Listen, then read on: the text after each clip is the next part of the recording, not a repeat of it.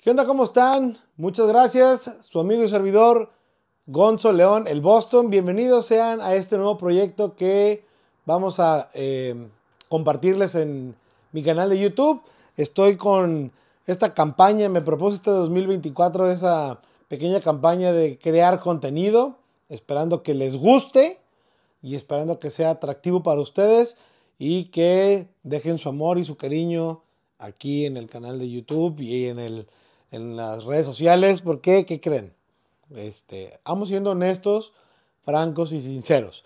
Mi carrera como comediante no está teniendo mucho éxito por muchas razones. La más importante, que me hace falta ser más chistoso. y la segunda, me hace falta más exposición. ¿Qué significa esto? Que necesito eh, verme más, estar más presente en redes sociales, que es donde se consume la mayor cantidad de contenido y necesito crear contenido en mis redes sociales, tanto de lo que eh, a mí me gusta y que se me hace que, podría gustarles a ustedes, pero también de eh, mi contenido en shows, pero pues, aquí está el pedo, no puedo tener shows porque no me contratan y no me contratan porque no tengo contenido.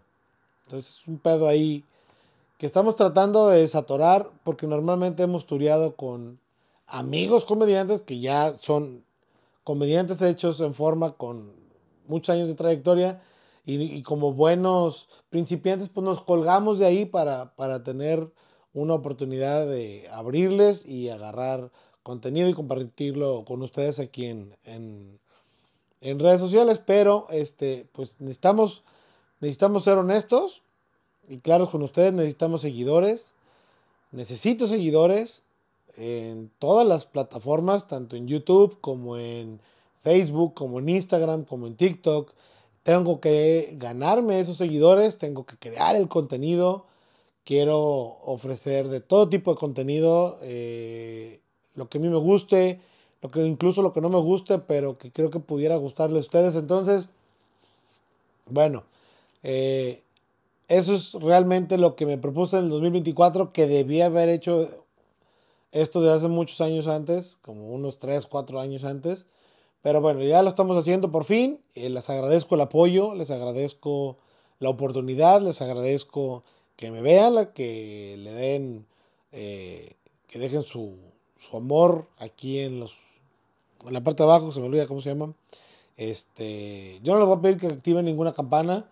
Pero sí les pedir que, pues, que, le digan a la banda que pasen la voz, güey, el, el, Gonzo está tirando contenido, hay contenido que vale la pena, hay contenido que no vale la pena, pero échate un clavado, velo, dale amor, este, promuévelo para que tenga más eh, followers y poder tener más alcance con mi contenido y poder por fin llegar al tan asediado mundo del éxito en la comedia yo me comprometo, aparte de subir contenido, también estar siendo un poquito más chistoso. ¿ah? Eh, bueno, también, aparte de ello, este, les quiero compartir este nuevo proyecto. ¿De qué va este nuevo proyecto? Bueno, este nuevo proyecto se llama el interrogatorio del Boston. El del interrogatorio del Boston, ¿qué es el interrogatorio del Boston? Bueno, como muchos compañeros comediantes, como muchos creadores de contenido están haciendo, hacen entrevistas a gente famosa, gente distinguida, gente importante. Yo quiero eh, continuar con esa, con esa línea de entrevistar gente importante, gente distinguida. Eh, pero en lo, en lo, particular el interrogatorio del Boston creo que va a llevar un poquito más, lo quiero llevar al enfoque de entrevistar a los compañeros comediantes eh, y creadores de contenido con los que yo tengo la oportunidad de trabajar. ¿Saben? Me va a costar trabajo con, eh, este proyecto porque es poca la participación que tengo con comediantes acá en Estados Unidos. Si no voy yo a México, tengo que esperar a que alguien venga para acá, para California, y aparte que tenga el tiempo y aparte que me dé la oportunidad de entrevistarlo. Entonces, no está fácil, no es un proyecto sencillo, pero tampoco llevo prisa que se vaya dando poco a poco. Yo espero que se dé eh, de la mejor manera, pero no le quiero poner tiempo al proyecto. Entonces, eh, quiero que poco a poco, si hay oportunidad de trabajar con algún comediante, entrevistarlo y, y, que el interrogatorio del Boston sea más como el vamos a cotorrear con los compañeros comediantes con los que tenemos oportunidad de trabajar, pero que también este, no tanto preguntarles lo que todo el mundo les pregunta de sus éxitos, de su fama, sino eh, algo, el, el detrás del escenario, ¿no? el behind the scene, todo lo que se hace en un aeropuerto, cómo matas el tiempo en en, eh, esperando un vuelo, un camión, qué se hace en el camino, cuando vas manejando por tierra, con quién te acompañas, qué música escuchas, qué comes, cómo te diviertes en una gira, cómo te diviertes en un show antes y después del show, tienes este tabús, tienes algún ritual, cosas que no se ven y que normalmente no se preguntan, que a mí me interesan saber y que creo que a ustedes también les va a interesar saber. Y si no, bueno, tengo la confianza que me lo van a decir. Sabes que si nos gusta, este, síguele por ahí. O no nos gusta, cámbiale tu pinche formato. ¿ah? Y con mucho gusto lo voy a hacer. Este, tenía dos, tengo dos entrevistas. La primera que es esta que les quiero compartir. Eh, estaba muy indeciso si esta parte de la explicación se las dejaba a ustedes como preámbulo de todo lo que quiero hacer con el interrogatorio del Boston. Eh, en el momento que grabé esto, todavía no tenía definido el concepto del interrogatorio del Boston. Tenía el nombre, pero no el concepto.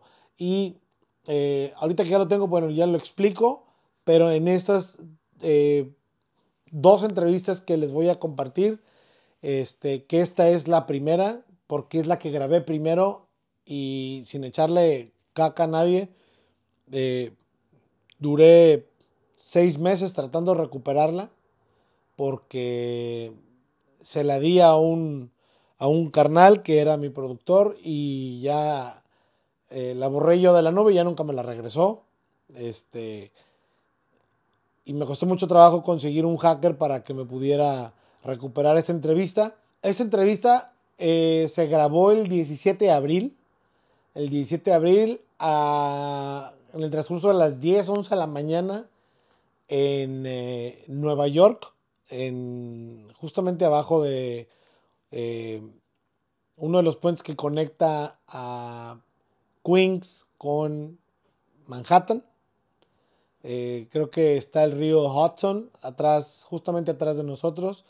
Y la persona que me tocó entrevistar, que fue la primera persona que entrevisté con esta idea del interrogatorio del Boston, fue a mi carnal eh, amigo Sergio Mejorado. Sergio Mejorado que como ustedes, muchos de ustedes ya lo conocen y ya lo tienen identificado, miembro de eh, la desaparecida Diablo Squad, miembro del colectivo del señor Franco Escamilla, parte fundamental de la Mesa Reñoña, eh, creador de contenido de hace muchísimos años, manager de eh, la Mesa Reñoña Bar, bueno, tiene una trayectoria muy grande. En el tiempo que lo entrevisté, acababa de publicarse 15 días tenía que haberse publicado, si no mal recuerdo, la, eh, el roast que le hicieron al señor Oscar Burgos, donde tuvo la oportunidad Sergio de participar. Y por ahí nos fuimos a platicar un poquito con él sobre eso y de mil cosas más. Es eh, gran amigo, le tengo mucho aprecio y mucha gratitud.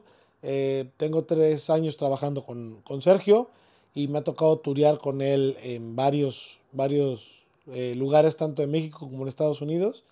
Y ha sido de lo más agradable encontrar, eh, conocer y adaptarme a un Sergio que es muy diferente del Sergio que, transmite eh, su cotorreo en redes sociales al Sergio cuando lo conoces ya más íntimamente, que tienes la oportunidad de platicar con él y que conoces eh, a Sergio Mejorado Gámez. es muy diferente al personaje de Checo. Es completamente diferente. Eh, les dejo esta entrevista ya sin echar más rollo con eh, el señor Sergio Mejorado. Espero que les guste. ¿Qué hola, ¿Cómo están? Muchas gracias por eh, estar con nosotros, acompañarnos el día de hoy. Su amigo y servidor Gonzo León. El día de hoy quiero pues hacer este programita, este pequeño podcast en donde quiero entrevistar a mi amigo Sergio Mejorado. Gonzo, ¿Cómo estás, carnalito? Bien, compadrito, muchas gracias por esta entrevista, gracias por la invitación. No, gracias a ti por aceptarla y por venir hasta acá. ¿Hasta a- Nueva York? Hasta Nueva York. Nomás vinimos a la entrevista. Nomás a la entrevista. Hasta, hasta eso viene nada más. Porque me, me humilla mucho que entrevisten en los carros. Y, y dije, bueno, es algo, algo diferente. Claro. Algo diferente. Eh, ¿De qué va a ir este, este cotorreo, mi querido Sergio? Pues en realidad quiero platicarle a la gente experiencias que vivimos, sobre todo en el caso mío, la experiencia de trabajar con gente como tú, que ya tiene una gran trayectoria y una gran carrera en la comedia, y que me dan la oportunidad de abrirles eh, los shows, de eh, acompañarlos en las giras, managerear la producción de, de- de los shows en, en el extranjero. En esta ocasión nos tocó estar trabajando en la ciudad de Atlanta y en la ciudad de Nueva York. Este, y darte las gracias por la oportunidad y compartirlo con la gente que me sigue, de que para mí es una experiencia muy importante y tengo un nivel de gratitud muy alto de que, de que me des esta, esta, esta experiencia de trabajar en otro país, hacer comedia en otro país. ¿Qué te orilló a tomar el riesgo de decir, vamos a experimentar el cruzar la frontera para hacer comedia? ¿Qué me orilló contigo o en general? En general, y, y- y por qué tuviste la decisión de escogerme a mí? Bueno, de- escoger de tipos porque eres un tipo muy inteligente, eres un tipo que, que estás eh, muy rápido aprendiendo, absorbes muy rápido las cosas. Creo que eres una gran persona, te lo he dicho, eres un tipo inteligente. Gracias, amigo. Lo único que a lo mejor te es experiencia, pero pues todo el mundo no nacemos aprendiendo al final de cuentas y, y todo este tipo de cosas, si hay errores, pues es tomarlo como errores de aprendizaje en un fracaso. ¿Qué me orilló a venir para acá? Pues primero vivir la experiencia eh, solo hasta acá e- es un reto personal importante decir, a ver de, de qué estamos hechos y, y otra, digo, tampoco venir tan, tan a, a lo güey, sino decir, a ver, qué tanta gente me puede ir a ver y conocer en Estados Unidos, pues también para que sea redituable para, para nosotros, ¿no? Pero creo que si no es redituable, es redituable en el sentido de la experiencia. Franco a mí me, enseñó una cosa que es muy valiosa, es decir, la mejor inversión es en uno mismo. Entonces, invertir en experiencia, en conocer otras ciudades, el decir, bueno, si metemos 30, 40, 20, 10 personas, es gente que te quiere ir a ver y para mí es muy valioso. Y creo que por ahí va el tema. ¿Qué me orilló? Precisamente saber que, a qué tanta gente le puedes llegar. Dos, obviamente es como el alimento al ego de decir sí, sí puedo, sí puedo llegar a, a- a gente y estamos hablando de que estamos a más de 2.000 kilómetros de mi, de mi ciudad. Claro. Entonces, todo esto es un reto, todo esto es, y me gustan los retos, y, y decir, bueno, si no va bien, qué bueno, si no va mal, estamos aprendiendo algo, y creo que eso fue lo que me llevó o me orilló a estar aquí, ¿no? ¿Cuántos años de carrera tienes en la comedia? 25, ¿Te imaginaste hace 25 años que Sergio Mejorado tuviera un evento en Nueva York, en Atlanta, en Los Ángeles, porque te has presentado en Hollywood, que, y que esto es tu segunda ocasión en Nueva York? la verdad no. O sea, Al checo de hace 25 años. No, el checo de 25 años tenía otra idea de la comedia, tiene otra, otra idea mucho más, eh, no sé si conformista porque no es la idea, pero como limitada más bien. Perdóname, el comediante de hace 25 años, el modelo de negocio era trabajar en un bar, que era el único bar de comedia, Unicornio Azul, que el cual estoy muy agradecido y siempre que lo menciono estoy agradecido porque ellos fueron los que me formaron como tal. Pero para mí la idea era ser gente de Unicornio Azul, trabajar de los eventos privados y vivir de los eventos privados en Monterrey. Era, era mi, mi meta a, a llegar, ¿no? Conforme pasa el tiempo, decir, bueno, ya no es Monterrey, ahora quiero ver si puedo trabajar en la República Mexicana, ¿no? O sea, ser conocido a nivel nacional y poder trabajar en cualquier parte. Sobre todo porque en, en su momento, cuando yo empecé a trabajar, era chistes muy locales, ¿no? Chistes muy de Monterrey, Claro. que solamente en Monterrey eh, se entendían. Las referencias de ahí. Exacto. Me empiezo a juntar con Rogelio Ramos, el Mundo Miller, el Mundo Galván, que ellos eran de fuera y que trabajaban en toda la República. Y la primera recomendación que me hicieron era nacionaliza tu show, ¿no? Entonces fue cuando sale el programa, pero pensar en decir, voy a andar de gira por Estados Unidos, en Nueva York, en la vida. girábamos, a lo mejor lo, lo que más podemos saber llegar es Houston, que Houston hoy como tal hay mucho regiomontano, entonces era un mercado más o menos fácil de entender, pero decir, bueno, ya después de Houston, Dallas, Atlanta, Los Ángeles, Nueva York, no, es la vida. Chicago, Chicago, ¿no? Estuviste también en Guatemala. Sí, también en Guatemala hubo una oportunidad. Resulta que por ahí eh, Sammy Pérez, para descanse, tuvo unos representantes, entre ellos Eric, que también es un gran tipo. Entonces me dice, a ver qué hacemos algo, a ver si hacemos algo juntos. Sí, está bien. Y quedó como a ver qué hacemos. Y un día ya me dice, oye, este, hablé con Macario Brujo y queremos que vengan a, Guatemala. Y pues encantado de la vida de estar en otro país, probar otras cosas, ver otro idioma, otra ideología y que nos ha ido bien, pues es padrísimo, ¿no? Estuvimos en una ciudad que se llama San Marcos y que está como a unas tres horas de Tapachula. Tapachula está en la frontera entre México y Guatemala. Y luego nos fuimos a, Pajapita, que es otra ciudad también, municipio de Guatemala. Dicen por ahí que el alma de un artista es el aplauso. Y yo he sido testigo del cariño y, y el amor que tiene la gente de este lado del charco y cómo has conectado con el público. Pero también he visto, Checo, a veces queriendo ser muy perfeccionista, porque te gusta ser perfeccionista en tu trabajo. Y ha habido shows en los que te has topado con, obviamente, un público latino, como fue el caso de ayer, Ajá. y que de repente dices, tengo gente de Ecuador, tengo gente de Colombia, tengo gente de otros República países, Dominicana. de República Dominicana, pero que hablan español. ¿Qué pasa por la cabeza de Sergio al momento de decir, híjole, mis chistes son para latinos, sí, por el idioma, pero también todo está basado en temas mexicanos? claro. ¿Cómo, ¿Cómo Sergio tiene que lidiar con eso al momento de subirse al escenario? Cabaretear y ver que tiene gente que viene de otros países porque es multicultural este país. Primero no me lo esperaba y en mi cabeza es a la madre qué voy a hacer, obviamente.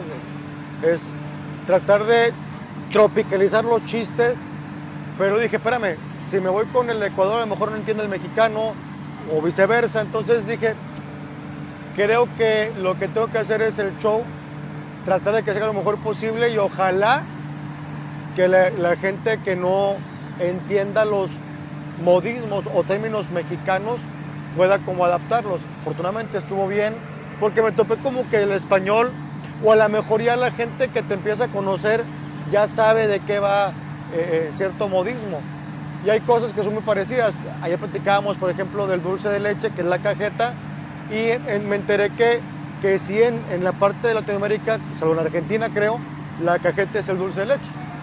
En Argentina creo que la cajeta es otra cosa, ¿no?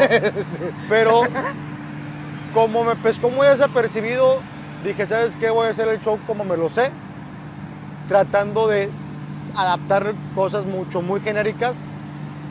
Pero sí fue un momento como que dije, a ver, cálmate, porque siempre empecé a acelerar mentalmente, cálmate y haz tu show como, como debe ser.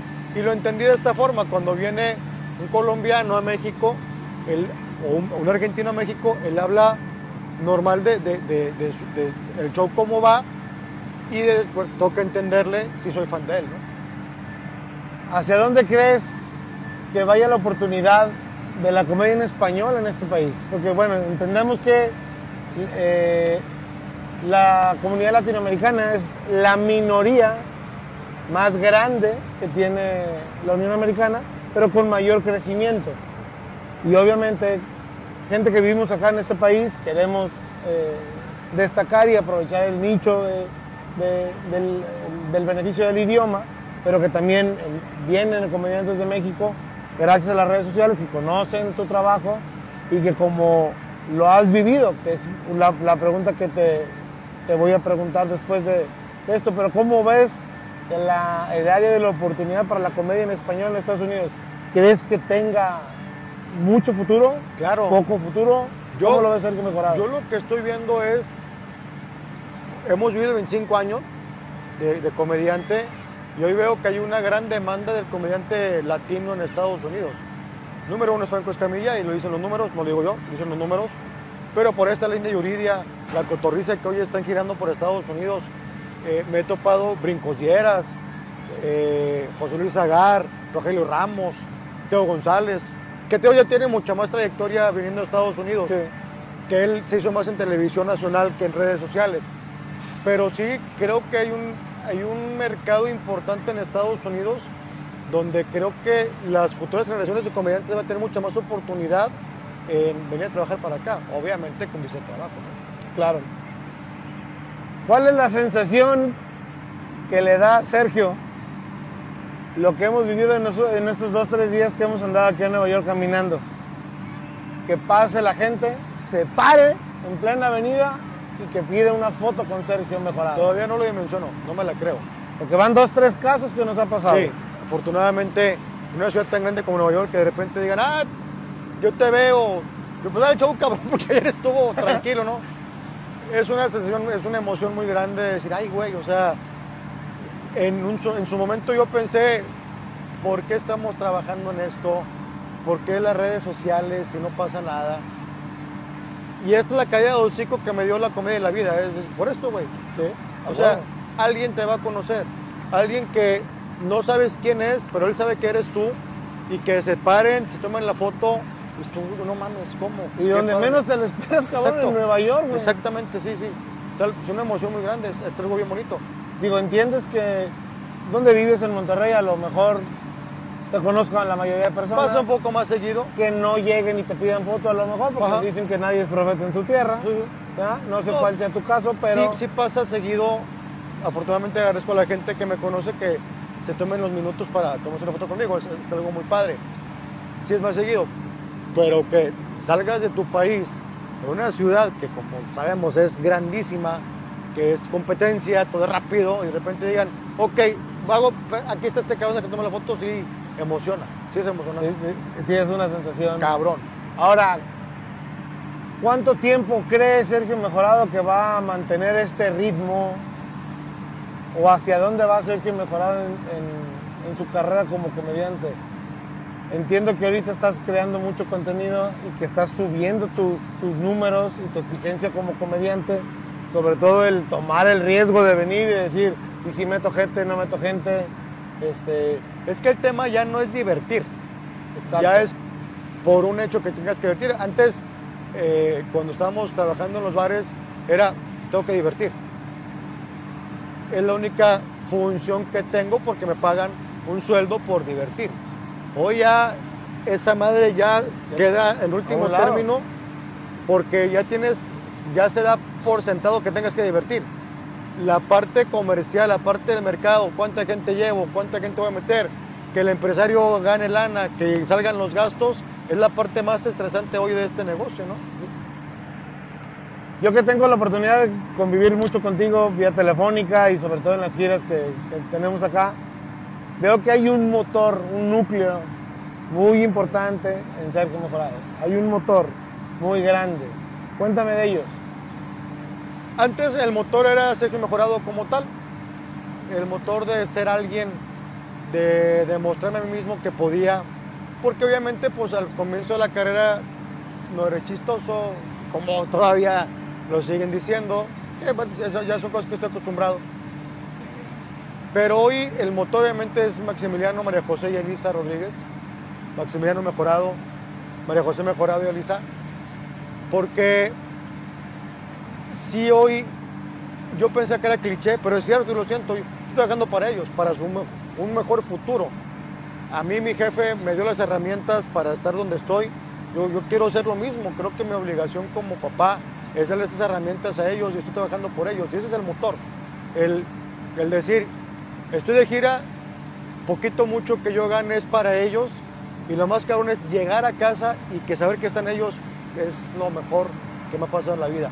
Y yo se lo comentaba un día a mi esposa, hace, hace poquito estaba estábamos en la cama plati- jugando con los dos. Estaba mi esposa, con Maximiliano, yo con María José. Estábamos jugando, no, estamos jugando los cuatro. Y yo decía, es la mejor parte donde yo quiero estar. O sea, voy a Nueva York, obviamente es un sueño de muchos y yo quisiera estar, pero digo, está para Nueva York y cuantas veces pudiera, aquí estuviera. El plus es, si vean ellos, feliz de la vida. Claro. Pero si no vengo a Nueva York y están ellos en casa, prefiero estar en casa. Claro. Ese es el motor. La gente no sabe, pero lo, lo vamos a platicar porque digo, son cosas, hay muchas anécdotas que pasan en una gira, hay muchas eh, aventuras buenas y malas. Las buenas, conocer. Ahorita lo que ven ustedes aquí atrás, donde estamos nosotros, tuvimos que agarrar eh, metro para venir para acá, caminar aproximadamente como unas 10, 15 cuadras, porque quisimos este cuadro para compartirles, porque es la- lo que tiene en la parte de atrás es el puente Williamburg Bridge, que conecta la parte mediana de Brooklyn, o la parte baja mediana de, de lo que es la isla de Brooklyn, que es muy famosa, Ajá. y en la parte de atrás está Manhattan, y este es el puente, y no sé si alcanzan a ver, ahorita están pasando los ferries que cruzan por el East River, y atrás está el Manhattan Bridge y luego el Brooklyn Bridge, pero para nosotros es como que, wow, está impresionante estar aquí, ver todo esto, pero Sergio Mejorado en esta gira viene muy malo físicamente. Y estuvo así de cancelar la gira y no la cancelaste. Al Chile yo te digo, yo sí lo hubiera, yo sí lo hubiera cancelado. Porque eso de andar como andas ahorita, caminando en una ciudad que no puedes andar en carro, Ajá. porque aquí la logística es en tren. No puedes agarrar una bicicleta porque la segunda logística es en bicicleta. Una rodilla lesionada que está Crónico. pero sí súper jodida, malo del estómago, una deshidratación que llegaste a la gira de Atlanta. ¿De dónde sacaste esos huevos que yo no los hubiera tenido? Primero, yo creo que con sentirme bien, aunque trajera diarrea, sí pensé, no es mamada, te lo juro, sí pensé en toda la gente que colaboró para este evento. O sea, pensé en ti, pensé en los empresarios de Atlanta, en los empresarios de Nueva York, en la gente que compró su boleto, decir, voy a destinar 5 o 6 horas para ver a este imbécil y de repente que diga, no voy porque me ando cagando, siempre me pareció un poco injusto. Sobre todo también, digo, obviamente primero es la salud, pero yo dije, con sentirme bien, con lo que no me duele la cabeza, no andar vomitando, voy. Y por eso, por eso fui, o sea, sí realmente pensé en, en todas las 40, 50, 80, 100 gentes que estaban colaborando para esto. De repente decirles, me ando cagando, no voy, se me hacía como mal pedo. El efecto colateral, ¿no? Que representa el tomar una decisión como esa. Sí, sí, sí, sí, sí causas muchos problemas si- si cancelas una gira. Ahorita hay una ola de, de mucha comedia nueva. Franco puso de moda el stand-up en español en prácticamente en todo el mundo. ¿sí? Sobre todo hablando como mexicanos. En Estados Unidos se consume mucho el, el stand-up eh, gringo. Sí, Fuimos a ver comedia en inglés. sí. ¿Cuál es la opinión de Sergio Mejorado respecto a la comedia americana, a la comedia mexicana que estás acostumbrado, una, a hacer y otra, a ver?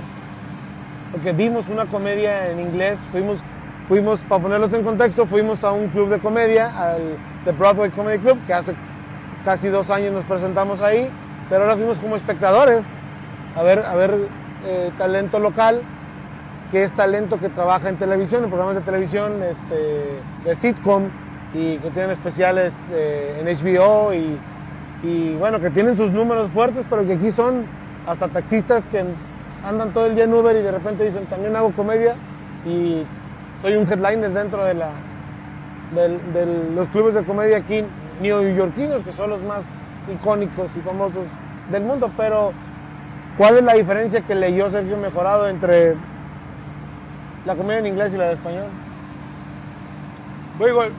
Tengo muy poca referencia. Yo soy amante de la comedia mexicana.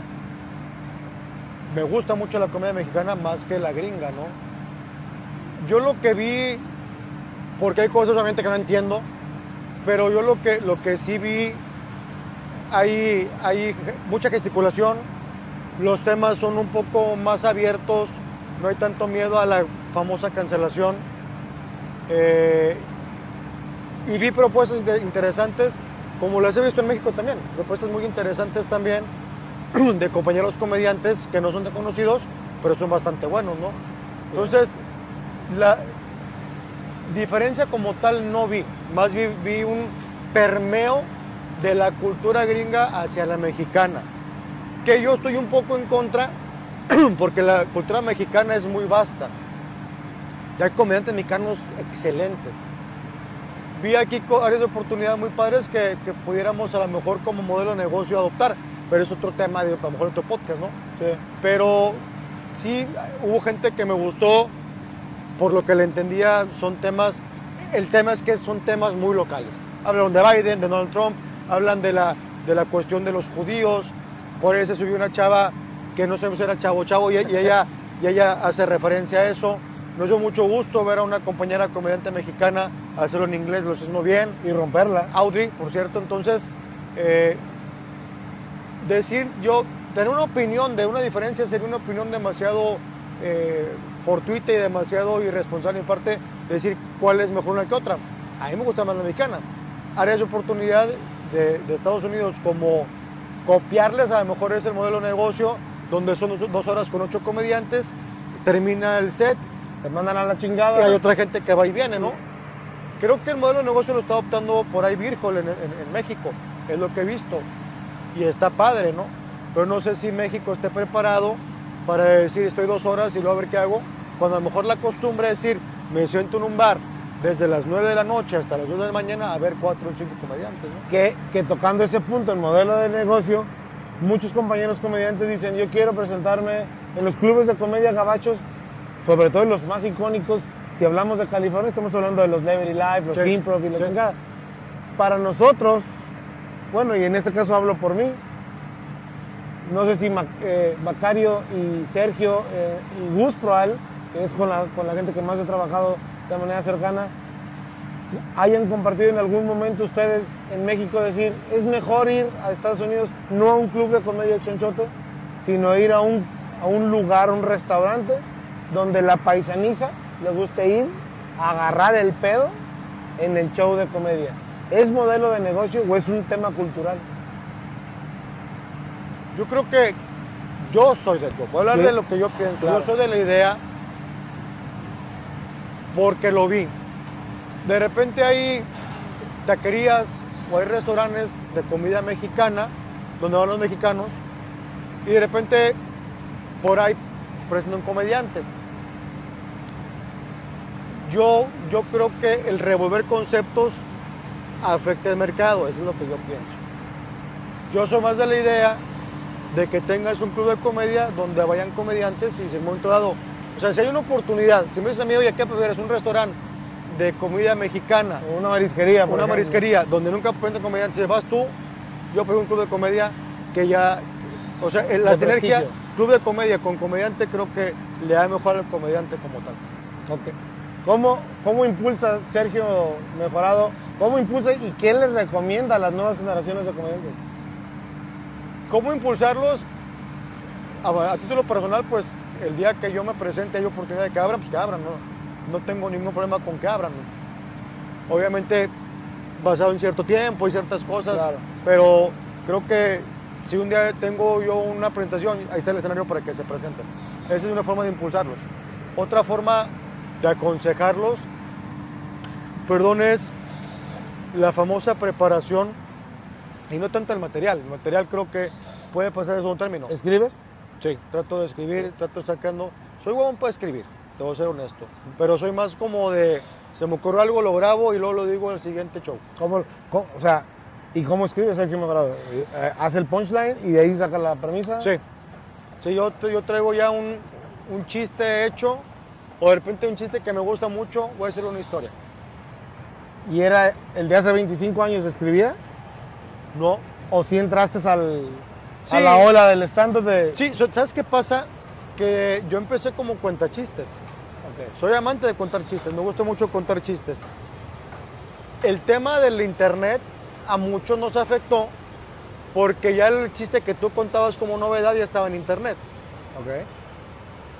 Entonces, por consejo de Rogelio Ramos, empecé a contar historias. Bien. Entonces decía, bueno, yo no soy tan observador en lo que me pasa a mí para hacerlo chistoso. Entonces voy a empezar a contar cosas que me hayan pasado, pero con un final ya, con un final que yo ya me sepa. O sea, yo construyo sobre algo que ya, que ya, que ya sé hacia dónde voy. Yo hoy, sé que la cultura es una premisa, es sacarle remates, ¿no? Es una forma de escribir. Sí. A mí me gusta más el hecho de decir, bueno, sé que llega un final, y sobre ese final voy construyendo la historia. Me, se me hace más cómodo. ¿Has tomado talleres? Sí, con Gus Proal, con el Cojo, que son los- con los dos referentes que tengo, ¿no? ¿Cómo le fue a Sergio Mejorado en el roast de Oscar Burgos? ¿Qué experiencia vivió ahí? Muy Por- chingona. Porque es, es algo que no había visto esa emoción de Sergio y yo en un, en un escenario. Ajá. O sea, te he visto en el Blanquita, te he visto en, en el Galerías, te he visto en muchos lugares. Sí. Y te he visto en Hollywood con 120 personas. Pero en un roast en, el, en Monterrey para Oscar Burgos, que es una institución en la comedia, sobre todo en Monterrey. Esa emoción, ¿cómo me la traduces? ¿Cómo se la traduce a la gente? Pues era un reto. Cuando haces un roast, son chistes que no están probados. Ahí lo vas a disfrutar la primera vez. Más o menos tallereas con amigos y te avientan un chiste, espérame, este no, déjame modificarlo. Era un reto bien importante. A mí, yo soy de las personas que a mí los nervios me traicionan mucho. Me empiezo a trabar, empiezo a ir una cosa por otra. Entonces, últimamente me he permitido no estar nervioso. Entonces estaba muy relajado porque estaba muy seguro de lo que iba a hacer. Había escrito los chistes dos meses antes, les dimos varios tratamientos, hubo una revisión antes del show. Entonces dije, bueno, es como una, como una, voy, voy a dar una clase. Si sé de lo que voy a hablar, no tengo por qué estar nervioso. Eso lo aprendí en, la, en música, fíjate. Claro. Entonces, estaba emocionado porque digo, estoy entre puro grande y me están considerando como grande. Esa es una parte bien fregona. Claro. Aparte estoy con un, dos de mis mejores amigos. Franco y Oscar Burgos son de mis mejores amigos. Compartiendo escenario con ellos, que son chingones, fue una emoción muy, muy grande. Y saber que no soy bien, que a la gente le gustó la, la propuesta, pues fue una noche completa para mí. ¿Eres temperamental? ¿Te encabronas mucho? Sí. Sí. sí, sí, sí. ¿Y aguantas vara? De, o sea, ¿tardas en encabronarte o eres explosivo? Soy explosivo, ¿Y cómo manejas el hate? ¿Te enganchas, güey? Sí. Pero yo le pongo cara y me tranquilizo. Tradúceme cómo es ponerle cara. Mira, tú de repente ves a gente y dices, "Ah, este pues está bien pendejo, ¿no? O sea, y a lo mejor no. A lo mejor. A lo mejor no, pero tú lo ves, "Ah, está bien pendejo. Entonces cuando tiro hate, es este güey que está opinando, está pendejo. Entonces, sí, sí. El hate es. Por primero, o sea, primero es como chinga, madre. Yo soy de los que no contesto, me gusta engancharme con, con- con gente. Pero luego alguien dijo, creo que fue Lucerito y me pareció la opinión más acertada del hate. Ajá. Es como ver en una pared, güey, puto yo, güey, ojalá el que lo lea, güey. Así lo vi, entonces dije, sí es cierto, es un letrero. No sé qué me está escribiendo. Claro. Porque han puesto en el rostro, sé que es un pendejo, porque está ahí. Y a mí me jodía mucho porque decía, oye, güey, es un trabajo de muchas gentes. El ver que la producción, fue una producción muy chingona y de tres pesos, no, costó tres pesos, no mames. No son tres pesos. ¿Sí? Sí. Y luego lo más cabrón que puso un imbécil, ¿por qué ponen risas grabadas? No, güey, no mames. No sabes lo que estás hablando. ¿no? Entonces, y me ha pasado, te pueden tirar hate, pero si tú empiezas a hablar de esto, Ajá. ¿tú quién eres? Y, ah, cabrón, o sea, yo no puedo que- exponer lo que yo pienso del hate y tú me sigues jodiendo, ay, Dios te bendiga, güey. Oye, güey, tienes, tienes, creas mucho contenido. Si no mal recuerdo, tienes prácticamente un programa por día. Ajá. Son prácticamente cinco días los que estás metiendo contenido. En tu YouTube tienes Checos Friends, tienes este. El rincón del tótem. El Rincón del Totem, tienes, estás en la mesa reñoña. Ajá. Este. ¿Cómo se llama el que tienes con. El Bello y la Bestia. El con Bello y la. Bestia con Ana Valero? par de ¿Tienes veces mucho? con Morocco. ¿Cómo administra Sergio todo el tiempo? ¿Cómo hace para generar tanto contenido? O sea, ser tan creativo para crear tanto contenido y todavía salir de gira. Pues fue algo que yo aprendí en televisión. Yo hice televisión Televisa Monterrey y aprendí a hacer cosas creativas, o sea, estar creando cosas, ¿no? No sé en buenas o malas, pero pues ahí está, Sí, ¿verdad? sí. Entonces lo De que tres hago- pesos, como dice la De tres pesos, ¿eh? A lo mejor hasta de un peso. Pero trato administrar es, grabo tres, cuatro días por semana, descanso uno o dos días. Ok. voy haciendo stock de programas. Ok. Voy grabando para decir, para esto, para salir de gira, tres, cuatro días sin estar mortificado. Enlatas uno una, una semana y Exactamente. Sí, o sea, yo, por ejemplo, trato de grabar en una semana cuatro entrevistas que ya tengo para el mes.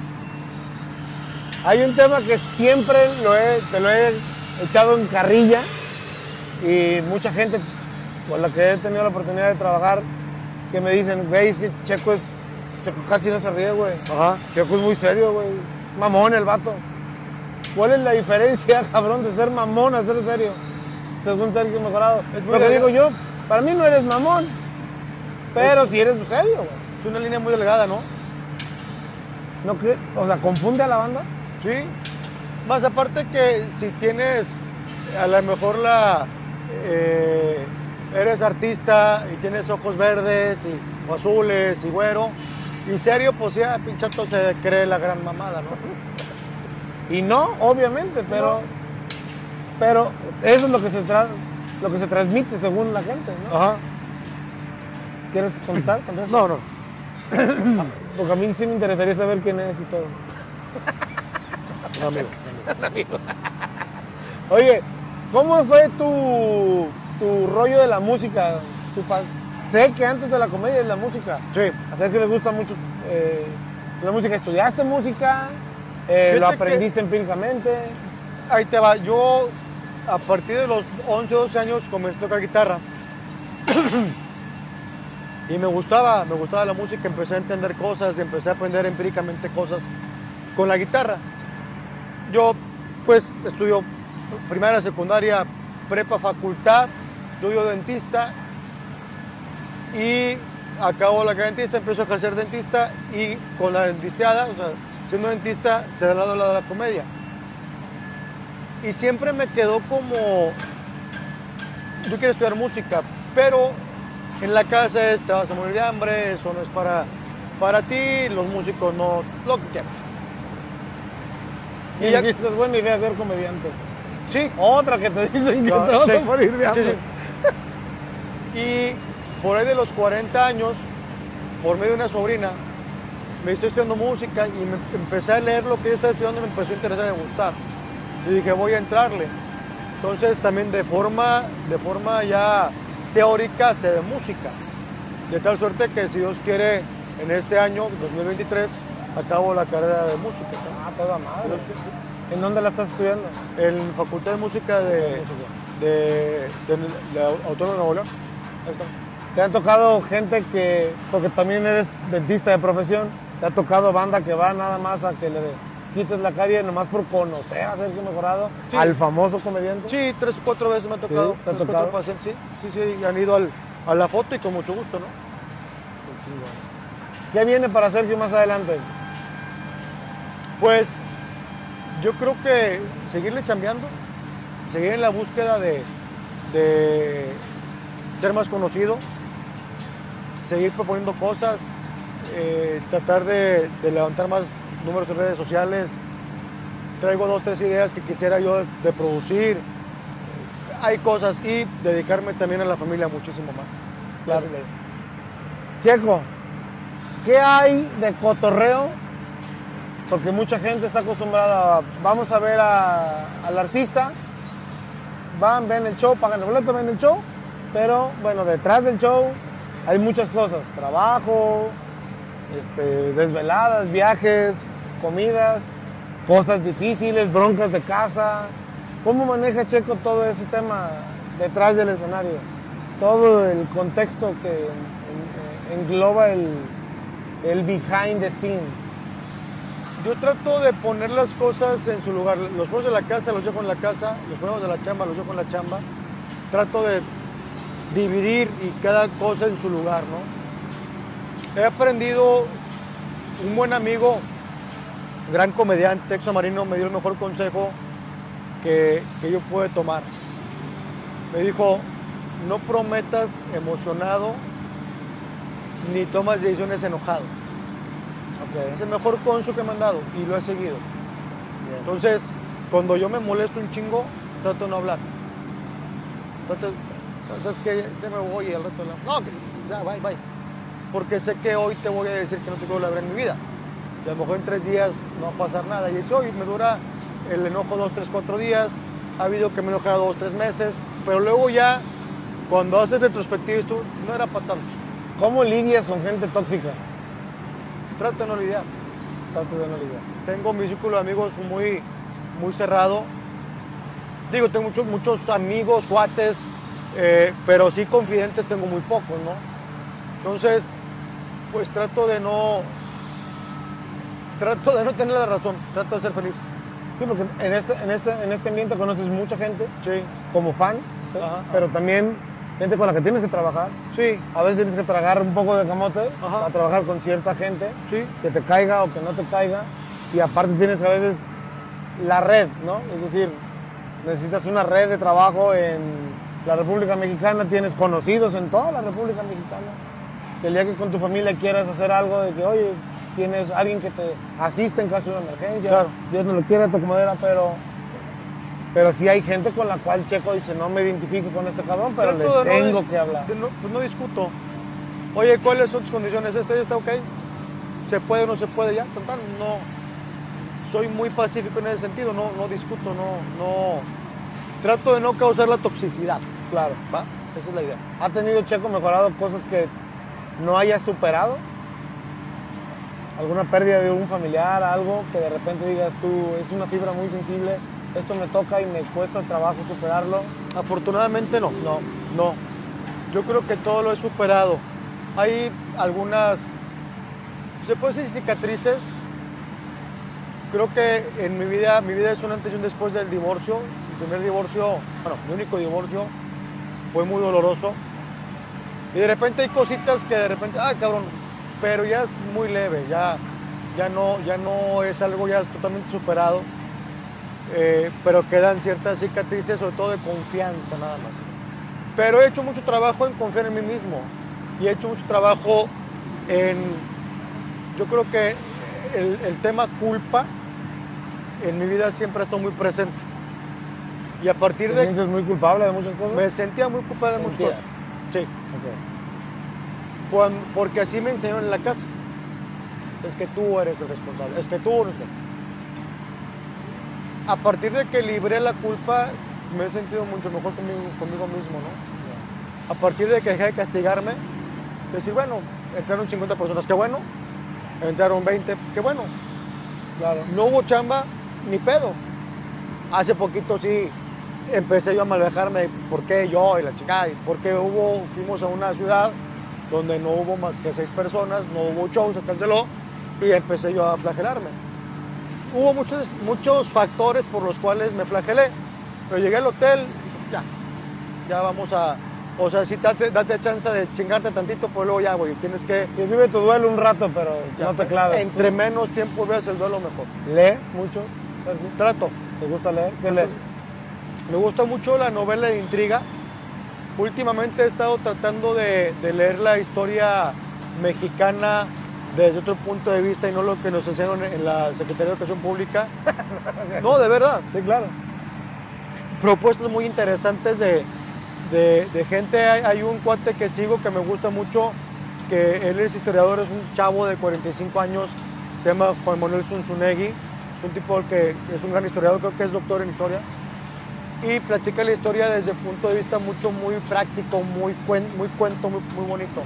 Entonces me interesó mucho la historia mexicana desde otro punto de vista. No son tan héroes los que pensamos que son héroes y no son tan malos los que pensamos que eran malos.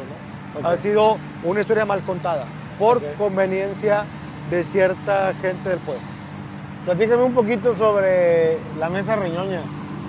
¿Cómo, cómo es para Checo la mesa reñoña? ¿La vive chida? ¿La Muy disfruta? chido. Mucho, mucho. ¿Se prepara o ya llega con algo Sí, a la improvisación? Trato de preparar la nota si por ahí sale algún chiste, pero trato como de dejar el chiste, o sea, dejar ahí la nota para que todos aportemos, ¿no? Creo que esa es la, la idea, la idea de la mesa reñoña, ¿no? De todos improvisar algo.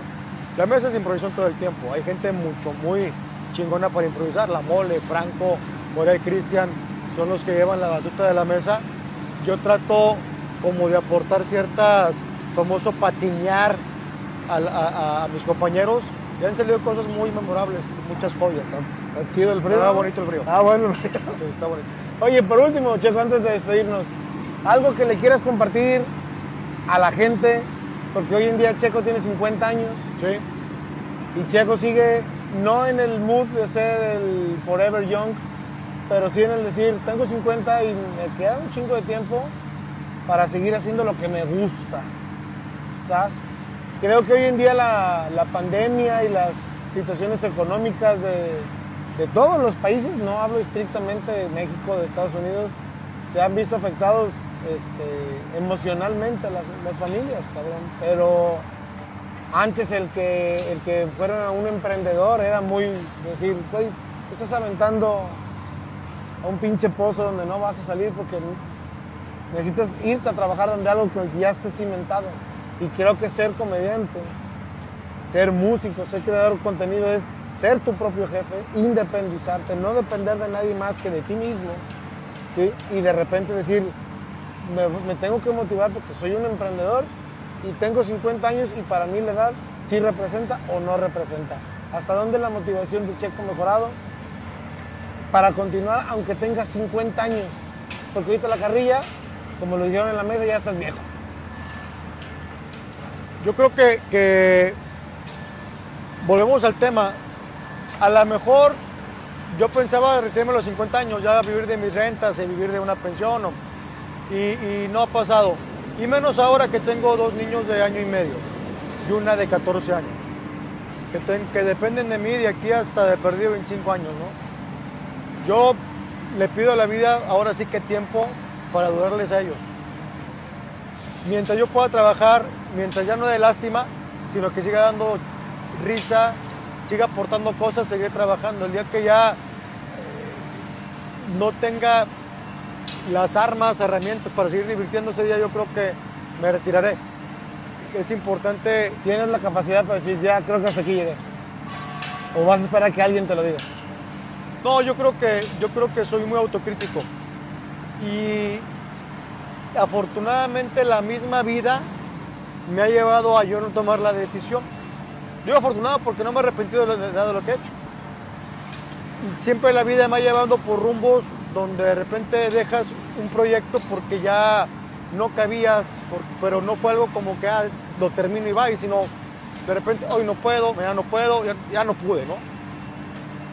No sé si a lo mejor la misma vida me vaya llevando a no tener que tomar la decisión, sino ya me puso en una, en una parte donde estoy a gusto y cómodo y no tenga que hacer el show de despedida, sino que la vida me va llevando a decir, bueno, ya no puedo hacer comedia. Ahí te va el mensaje. Que ya, ya- o sea, la, la- la vida te mandó el mensaje de decir, ya. que- Hasta aquí. ¿Por qué? Porque tienes algo mejor que hacer. Sí. No sé, o sea, a lo mejor me saqué de lotería y ya mis hijos me requieren más tiempo. Ah, bueno, pues ya la misma vida y me lleva. O tú puse un gran negocio que me está dejando tanto dinero que ya tengo que dedicar el tiempo al negocio y no puedo despegar ni de los hijos ni, ni de, ni de la, del, del negocio, no sé. Creo que por ahí va. Por ahí va. Pero creo que tengo la suficiente capacidad autocrítica de decir, ¿sabes qué? Hoy es el último show, si es que se llegara a dar. Pues, Checo, muchas gracias, Canelito. Alfonso, gracias. Muchas gracias por la oportunidad. Saludos. Gracias a ustedes por ah, acompañarnos en este, en este pequeño podcast que más bien es el cotorreo con un compa, pero de manera formal, porque la verdad es que siempre andamos echando chiste, broma, la llevadera que es muy fuerte, muy pocos aguantan, pero hoy nos dimos el tiempo de ver la parte formal, la parte seria de Checo, que ya no eres tú el entrevistador, Sí. ahora ya eres el entrevistado. Gracias por la entrevista. Eh, muchas gracias, bandita, por acompañarnos. Este, nos vemos en la próxima.